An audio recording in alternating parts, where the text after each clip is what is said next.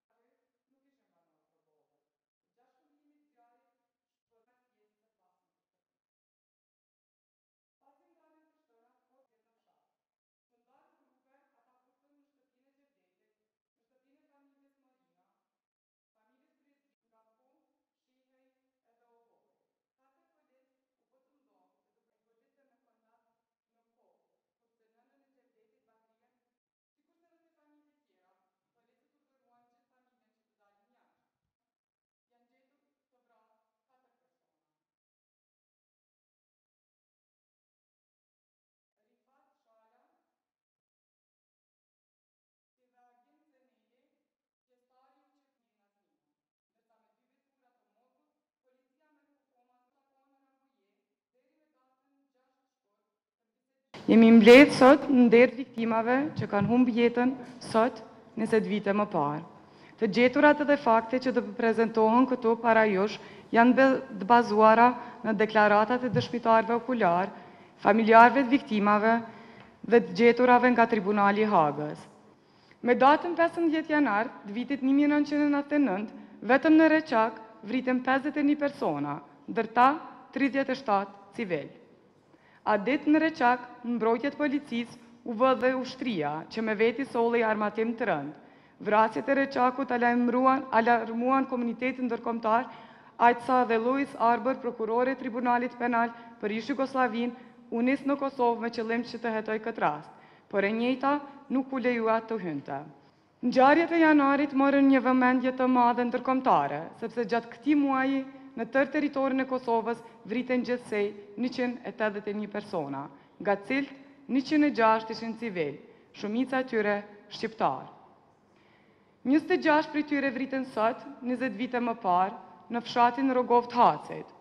Ky fshat gjendet në komunën e Gjakovës dhe banohej tërësisht nga shqiptarë. Në fshat kishte diku rreth pesëqind shtëpi. Deri në këtë datë, në Rogovë ishte një situatë shumë e qetë dhe askush nga banorët nuk ishte larguar nga shtëpitë e tyre. Me datën njëzet e nëntë janar të vitit një mijë e nëntëqind e nëntëdhjetë e nëntë, sot, njëzet vite më parë, rreth orës pesë e njëzet të mëngjezit, Xhevdet Berisha, së bashku me dy nipat e tij, Halit e Arben Gashi, bashkë me Milazim Shalën, Ata të shqetësuar kishin ardhur për të kërkuar ndihmë, sepse në shtëpinë e Milazimit ishin disa ushtarë të plagosur të UÇK-së, të cilëve u duhej ndihmë urgjente mjekësore. Rifati siguroi një veturë të tipit Opel Ascona dhe bashkë me shokët nisën për të parë se a ka forca policore afër urës që të çon në rrugën magjistrale. Pasi arritën te Milazimi në shtëpi, Xhevdeti merr me vete tetëmbëdhjetë pjesëtarë të UÇK-së në kombin e tij. Prej tetëmbëdhjetë ushtarëve, vetëm tre ishin të uniformuar dhe kishin armë, dy të tjerë ishin të plagosur rëndë dhe tre të plagosur më lehtë. Posa mbërrijnë në oborrin e shtëpisë së Xhevdetit, Rifati troket në shtëpi për të kërkuar Shefqetin, vëllaun e Xhevdetit, por menjëherë në oborr hynë forcat policore serbe që kishin kapur Xhevdetin dhe i kishin lidhur duart e kishin rrahur rëndë. Kur policët shohin kombin përplot njerëz, ata drejtojnë armët dhe bëjnë thirrje për dorëzim. Ndërkohë, ushtarët e UÇK-së shkrepin armët dhe vrasin në vend njërin nga policët. Predrag Rakoviq, Ndërsa nga shkëmbimi i zjarrit aty mbesin të vdekur në vend pesëmbëdhjetë pjesëtarë të UÇK-së. Këto mbesin dy dokumentet e vetme publike në lidhje me rastin e Rogovës dhe ne nuk kemi informata nëse hetimet kanë vazhduar.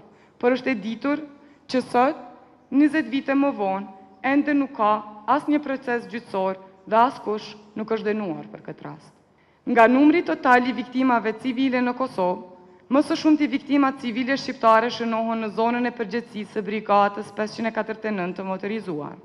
Deri me dhjetë qershor të vitit një mijë e nëntëqind e nëntëdhjetë e nëntë, në këtë zonë janë vrarë dy mijë e pesëqind e tridhjetë e tetë civilë shqiptarë. për krimet e kryera në këtë zonë të përgjegjësisë, në aksione të pavarura ose të përbashkëta me njësitë policore serbe, janë dënuar nga Tribunali i Hagës gjashtë persona. Ndër ta edhe Sreten Lukiq, kreu i policisë serbe në Kosovë. Edhe pse rasti i Rogovës përmendet gjatë kësaj procedure penale, ai nuk u dënua për vrasjet e kësaj dite. Raporti policor që përmendëm më herët është i nënshkruar nga Sreten Lukiq, e që në atë kohë ishte udhëheqës i shtabit dhe mbante titullin e gjeneral majorit. Dhe në fund vlen të përmendet se të njëjtën ditë, me datën njëzet e nëntë shkurt, të vitit një mijë e nëntëqind e nëntëdhjetë e nëntë, në Londër mbledhen ministrat e gjashtë shteteve të mëdha të njohura së bashku si Grupi i Kontaktit.